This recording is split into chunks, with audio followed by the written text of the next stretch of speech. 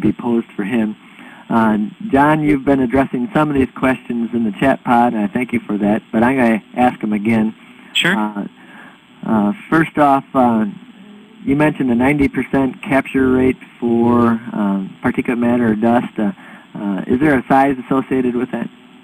Well, it, to, to, to go back to what I showed, it's, it's, it's really so you look at research that quantified um, the size of particulates that are generally part of uh, odor emissions, and 90% of those that of that size also happens to be in the same size range that trees are really adept at at, inter, at, at holding on to once once uh, if it's intercepting a particular particulate. And so the range is is five to three microns.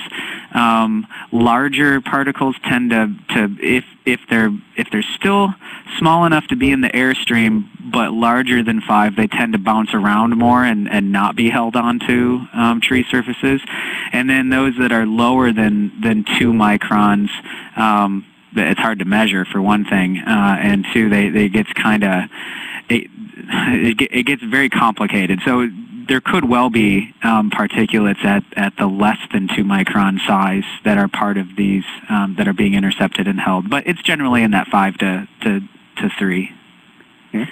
Uh, Rick, uh, I, I, guess I would like to add to that. Uh, research has shown that anything over 10 microns really never travels more than five feet from a ventilation fan. Yeah, yeah. And, and then John is correct. You know, in that uh, three to five micron, and, and up to eight micron is is the uh, transition zone, and then it it really becomes difficult to predict what's going to happen to something smaller than two and a half microns. Yeah.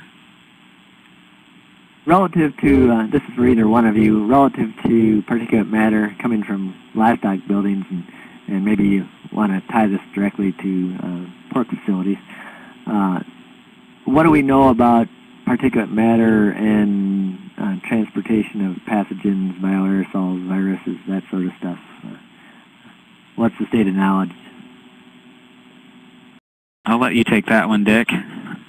Well, um, I could talk about biofilters a lot easier than trees and, and reduction, but uh, uh, let's see if we can make an analogy.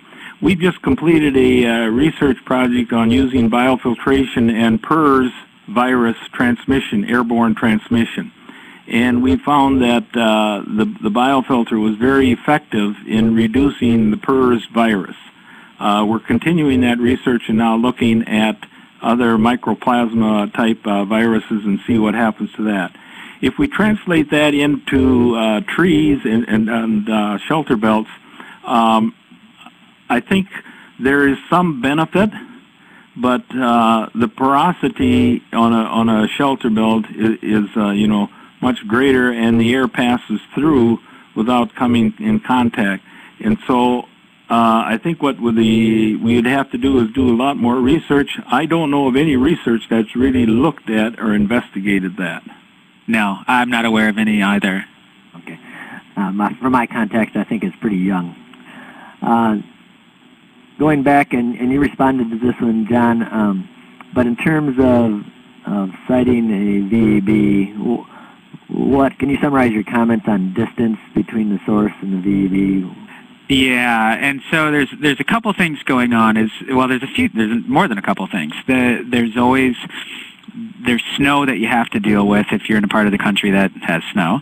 Um, there is ventilation issues, and then there's also the health of the trees. And so um, it it depends. And if if there's a snow issue, if, you know, thinking of Iowa where our winds come from the north and, and that's where most of the snow is blowing across the landscape, if there's a road to the, you know, to the north of the building, if there's uh, anything that you don't want a huge snow dump on, then that's going to determine where the trees go and you're going to have a snow fence perspective on that distance.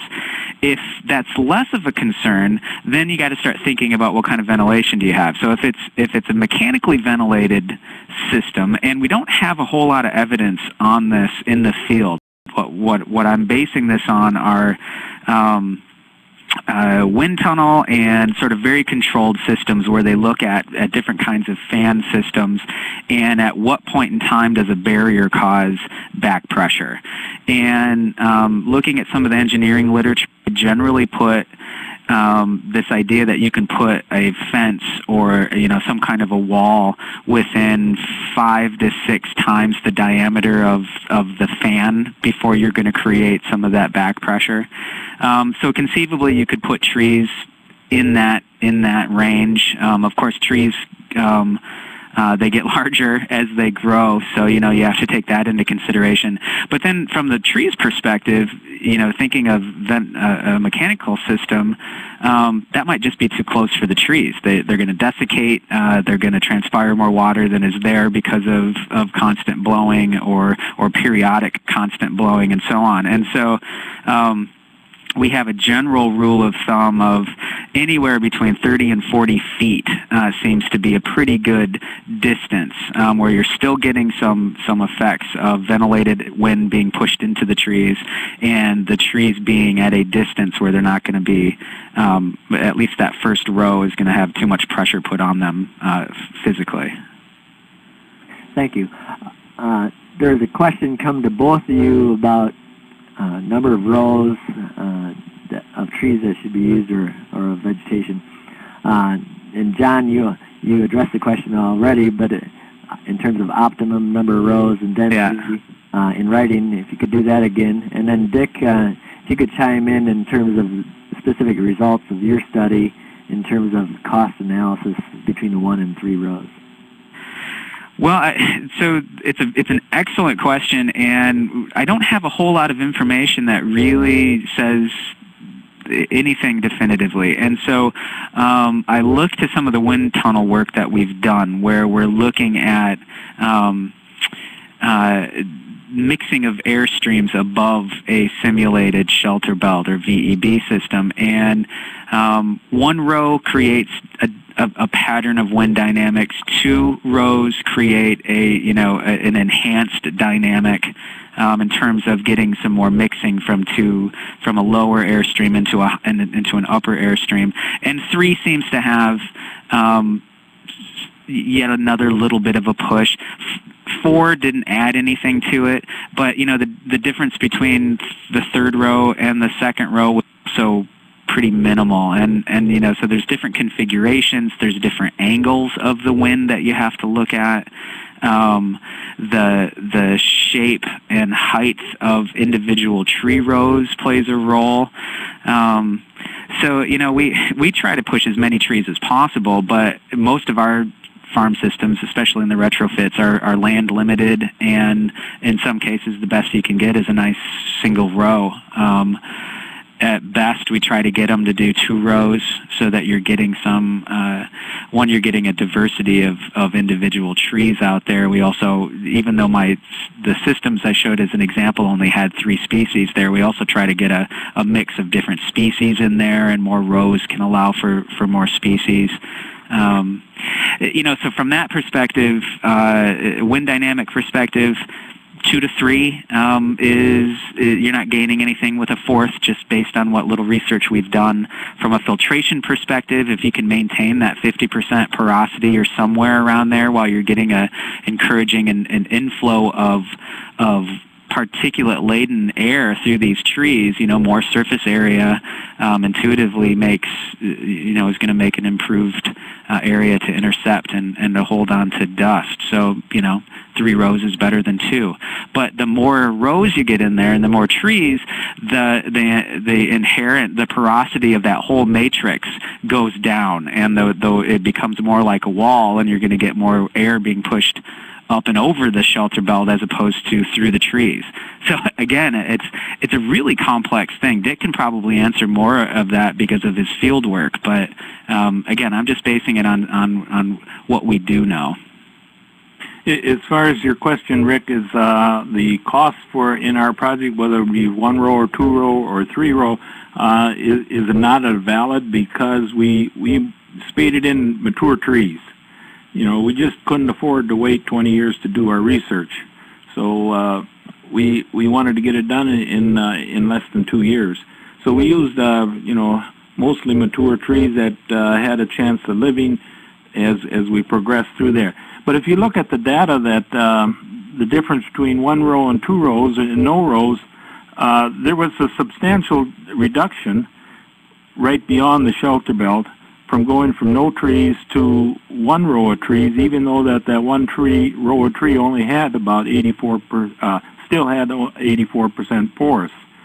And then uh, I didn't show the data for two rows, but by the time you got to three rows, we were uh, significantly reduced down to uh, essentially no difference beyond the trees as well as uh, considerably away from the trees. So John is is uh, right on when he says when you get up to three rows and beyond that, you, you really don't get uh, get the effectiveness. And if I recall my data from two rows of trees, uh, it's not much different than three rows. And so uh, it would uh, kind of uh, substantiate what, what John has been saying. John or, or, Dick, if you have something to add to this one, I think there's a fair number of questions about uh, designing the, the, landscape and the, the VEB. where would you recommend people go, whether they're from NRCS or, or private industry or wherever, to get some information um, on starting one of these and laying one out? Well, here there is there's a couple of nurseries that I I um, have gone to have sort of followed this idea and have gone to the workshops and all those sorts of things and have really sort of um, educated themselves on my perspective on their use and so on. And so um, I don't necessarily endorse anybody, but I, you know I, I do tend to give that those those names of, of individuals I know who who would definitely have some of these engineering concepts in mind when they're giving species advice, when they're giving maybe even some design advice. We also have a lot of private um, sort of forestry consultants, uh, field consultants that do tree planting and site prep and all of these kinds of things. And so um, there's a few of those folks that also have gone to these conferences and workshops and, and educated themselves. So um, you mentioned those workshops. Is that something that's ongoing, or those in the past? Those are in the past. Yeah, it's through ISU Extension. We've done some air quality conferences um, in the not too distant past, and and so on. And we've got a little bit of extension information uh, here and there. Much of our stuff is, unfortunately and unfortunately, into the academic literature, and so it doesn't really reach um, extension agents, field agents, um, very often. But um, we're working on those kinds of things. There's a few websites out there that give uh, some some perspectives on that as well. But it, it, it, just comes to that. I don't give direct direct advice. I always defer to professionals in the field, nursery people and, and private consultants, because they're the ones that are going to go out and and do soil testing and, and these sorts of things if they think it's necessary to determine um, the best site prep approach and, and so on much of the uh, answers for uh, producers should be tried to be obtained as locally as possible because I know in uh, South Dakota here we have a difference between what we call East River and West River. The eastern part of the state is much more humid. We have a lot more rainfall versus out west, which is more arid. And so our recommendation for each of those locations would be different on the type species and how the, you know, we would put them in.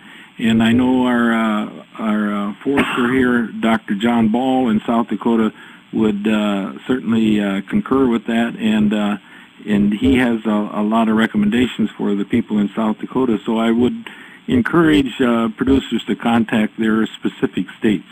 I, I totally agree, and and I I often some people can think they can get good deals on buying tree stock online and these kinds of things. Um, approaching this from a local perspective will make sure that you're going to get the right cultivars and, and those sorts of things, regional specific species and so on. So I totally agree. And that makes it hard to give specific recommendations about spacing and, and uh, uh, species and all yep. that. Yep. yep. Okay, I'm not seeing uh, uh, new questions come in. If anybody wants to post a question, please do so uh, real soon. Uh, uh, Dick John, do you have any final comments from your end? Well, Rick, there is one question here that I'm seeing. Um, what is the optimum distance between the first and the second row? So this is sort of the distance between tree rows, um, as opposed to the distance of the first row from a building or something like that. Um, we generally uh, it, it depends on what kind of degree of porosity you want to maintain in, in the tree rows, but usually it's, it's determined by the kind of mowing equipment that they have. Um, if it's a riding mower, it's got to be at least as wide as that. Um, and if these are trees that tend to, to go wide in the way that they grow, um, we take that into consideration as well if they're an area people want to walk through and so on. Um, so that's really dependent on available land, available equipment. There really is no, from my perspective, no no general